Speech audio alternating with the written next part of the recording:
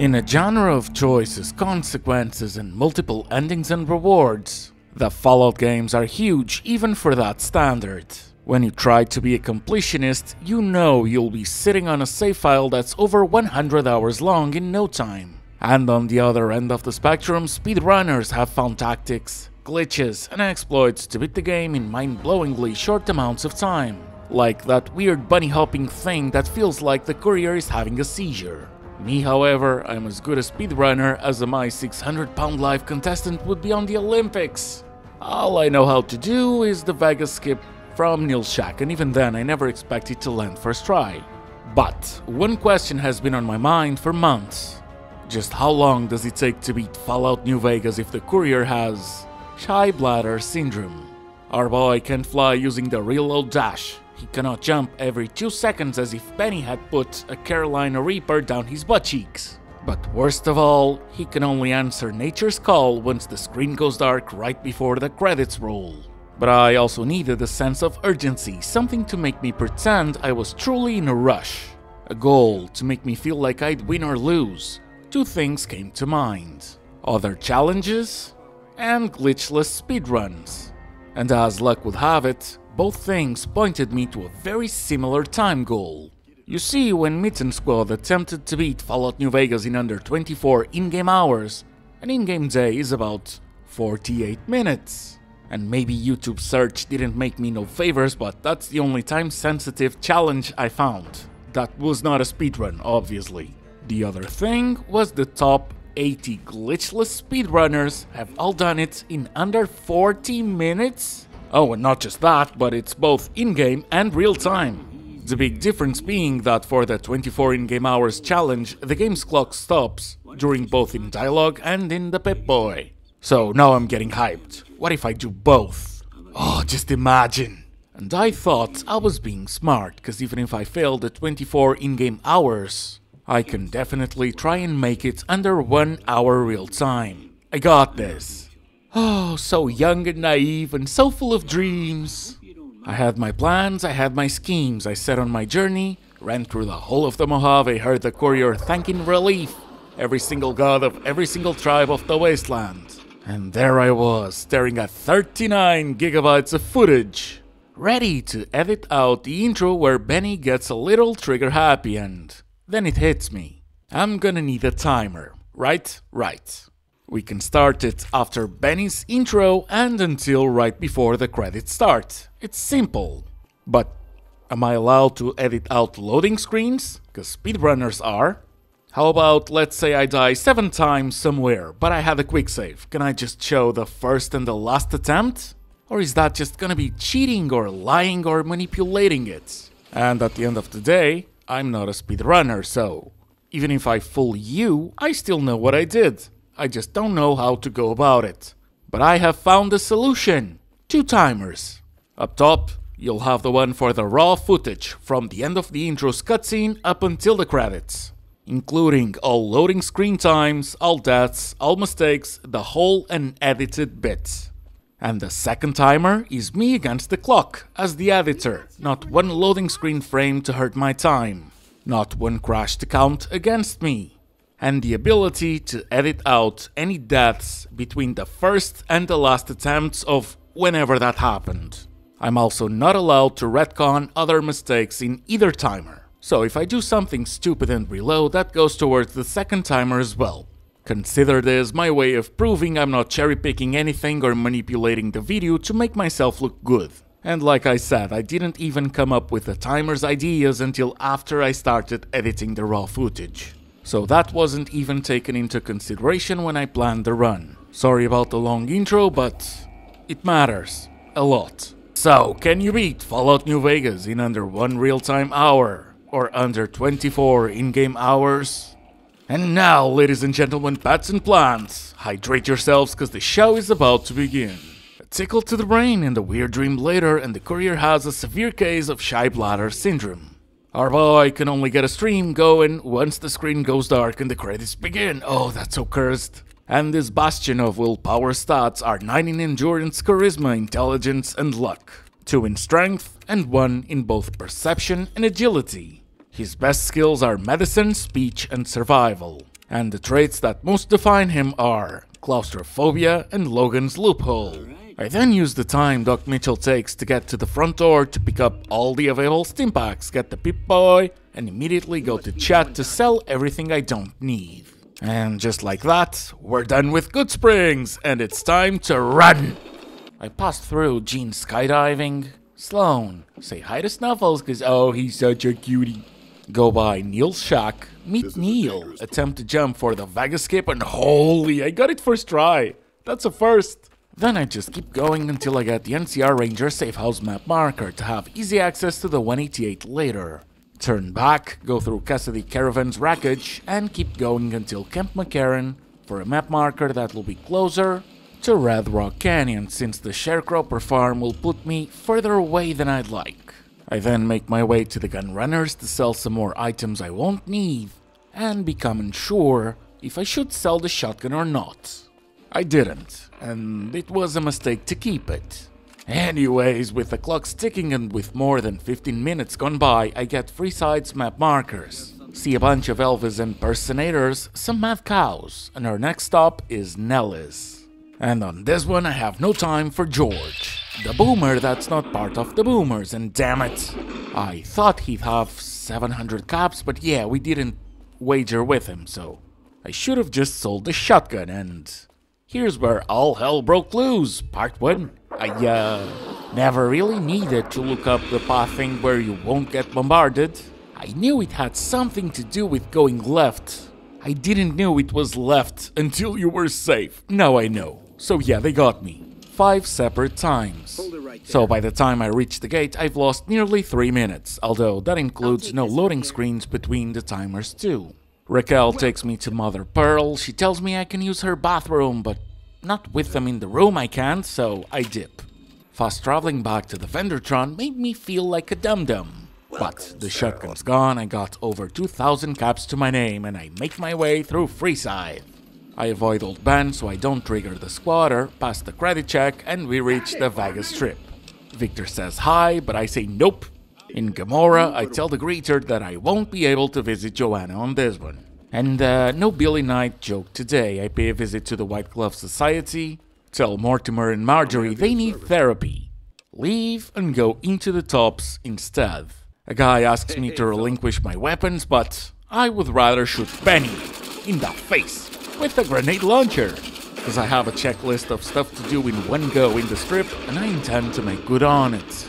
And, uh, well, this might have been the worst decision of the run, maybe? Maybe not, I'm really not sure.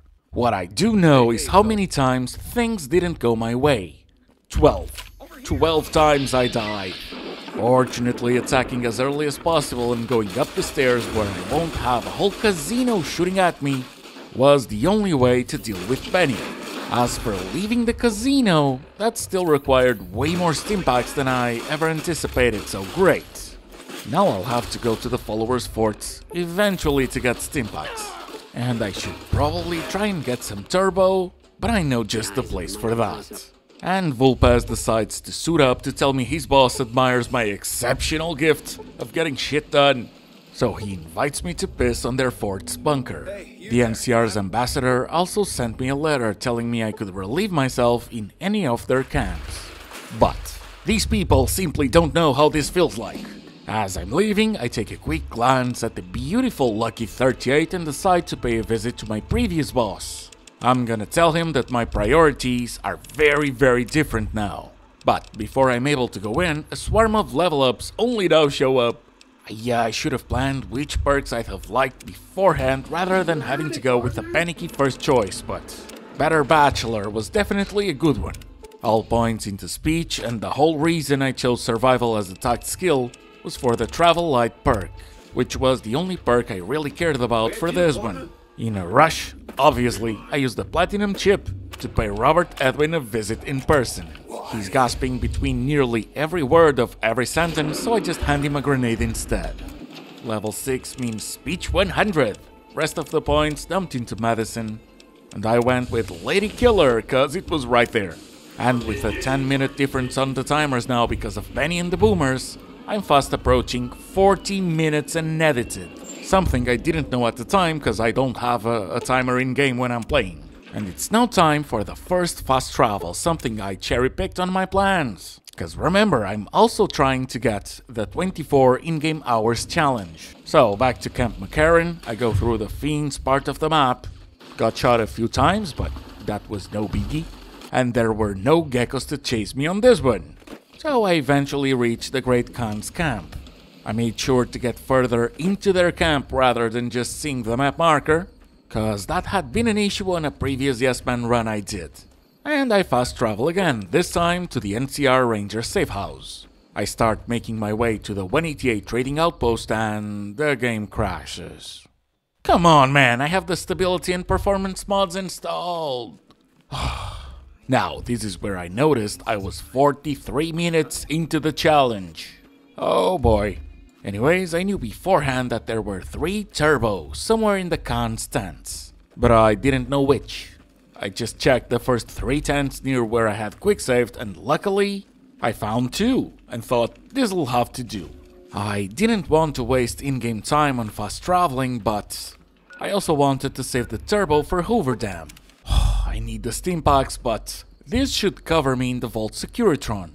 no wait, the Securitron Vault. And like I said, mistakes shall not be edited out, so all this going towards both timers, even though I could have just stitched the quick saves. Harder seems more entertaining though, so back to the NCR safe house, and lo and behold, a collision bug. My feet are dropping below the floor. Screens all weird, and then the game crashes again. Although I am happy to tell you that these were the only two crashes in the run. Also, good thing I quick saved right after fast traveling this time, and I was finally able to reach the 188. As I'm passing by, I yell to Veronica for her to wait there cause I'll be back in a bit, since I'm still being savvy with the fast travels. But now, now that I think about it, I should have just gotten her right there. Cause there is no companion rule, so I'll just waste a fast travel later.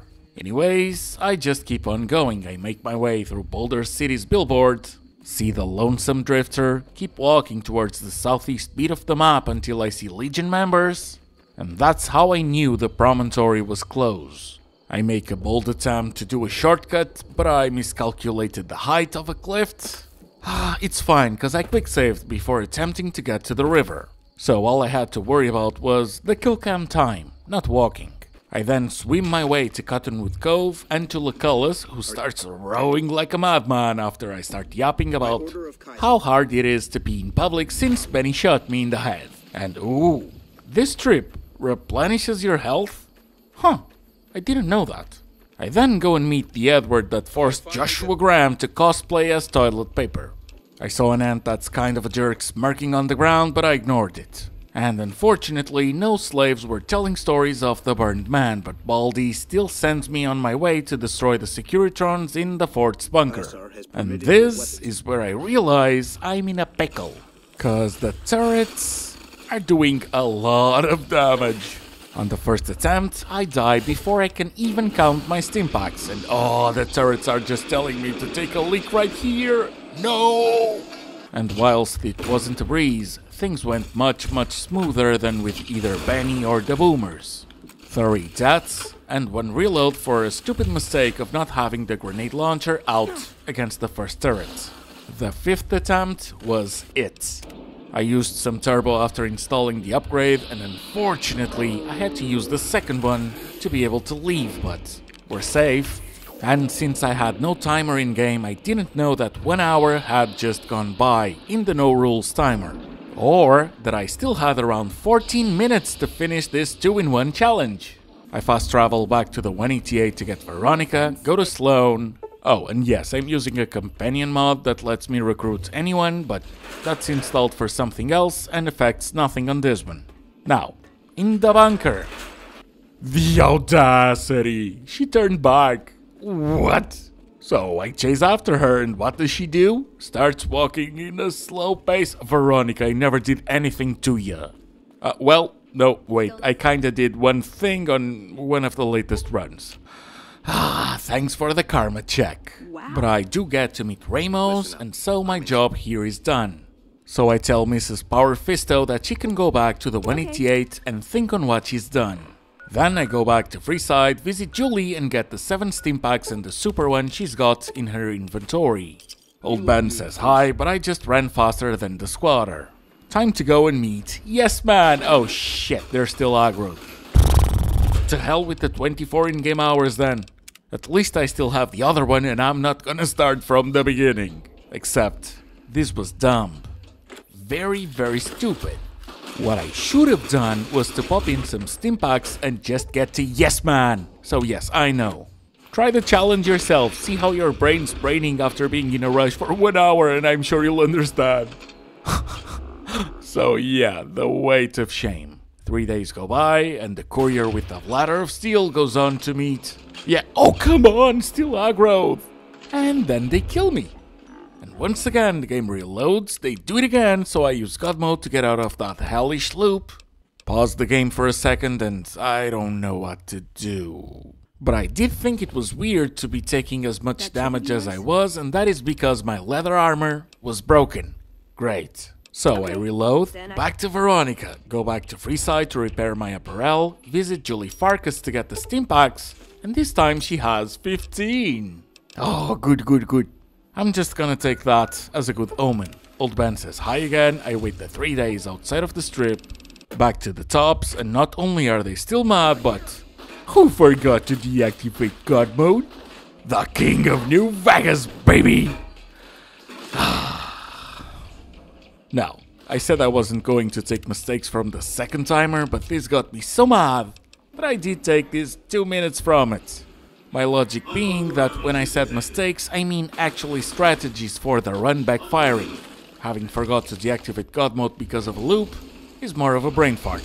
But that is unacceptable. Rules are rules and I shouldn't have done that. Although, to be clear, I wrote the rules after editing the timers, and the timers weren't even a thing when I was recording. So, here's the thing. I took 2 minutes from the timer, so as punishment, I'd like you to pretend the second timer now has 3 more minutes on it. Easy. Okay, back to the squatter after the quick save for waiting 3 days for nothing. The Securitron shoot him down, I make a run for it and... Really? I pop in some stim packs to heal, go back to the tops, to meet... Yes, damn it, they're still aggroed. Well, this time I just run past him, greet the man that can't say no, exhaust his stupidly long dialogue, burn some more steamies, and go back to the Lucky 38. Where Yes Man will force me to watch the whole demonstration when all I got is pretty much 4 minutes. What felt like an eternity later, and I then tell him we can ignore Kimball. He asks me to install the override chip in the Eldorado substation, I fast travel back to the 188 and before I reach my destination, I failed the challenge. But the premise in the question still remains.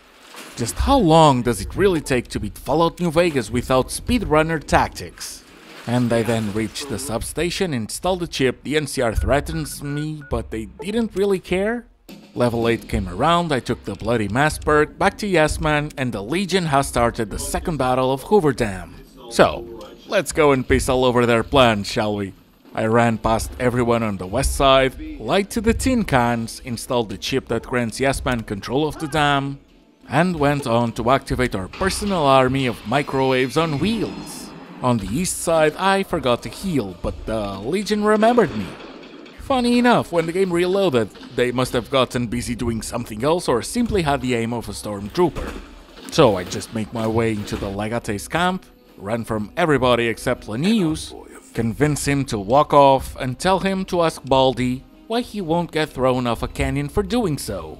Oh, and to add salt to my wounds, General Lee Oliver does the slowest walk. The cigar is a lie, but the Securitrons do arrive and I tell them to do the funny thing. What the hell? No, get away from you goddamn TV on wheels? Then level 9 came around just to make my time even worse. I looked at the clock and I did not beat Fallout New Vegas in under one hour.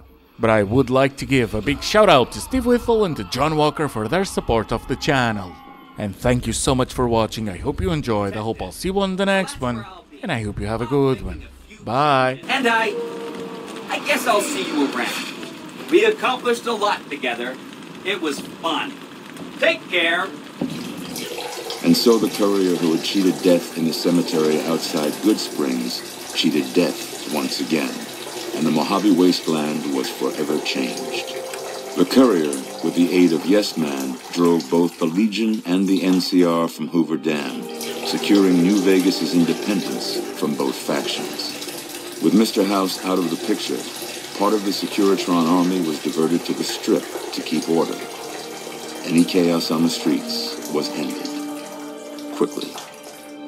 Chaos became uncertainty, then acceptance with minimal loss of life. New Vegas assumed its position as an independent power in the Mojave. Preferring neither the best of the NCR nor the worst of the Legion, the courier was the man responsible for a truly independent New Vegas. He had removed Mr. House from power over the Strip and broken the influence of the NCR and Caesar's Legion in the Mojave Wasteland. With little law left in the wasteland, the Boomers continued to defend themselves against the prospectors and scavengers invading their territory. After the courier ensured New Vegas remained free, the followers found that independent Vegas was even more unstable and violent than before. Old Mormon Fort became excessively burdened by the influx of patients, struggling to provide even the most basic of services. With New Vegas's independence formally declared, Good Springs thrived. More travelers stopped by Good Springs on their way to and from the Strip, and the locals grew prosperous from the traffic. The Kings retained their control of Freeside, and while they continued to favor the needs of locals, they tolerated the citizens of the defeated NCR. Armed with a wide array of improvised explosives and stolen weapons, the Vault 19 powder gang tormented the Mojave wasteland for years. The citizens of the NCR were favorite targets, and they always suffered the worst fates. And so the courier's road came to an end, for now. In the new world of the Mojave Wasteland, fighting continued, blood was spilled, and many lived and died just as they had in the old world. Because war, war never changes.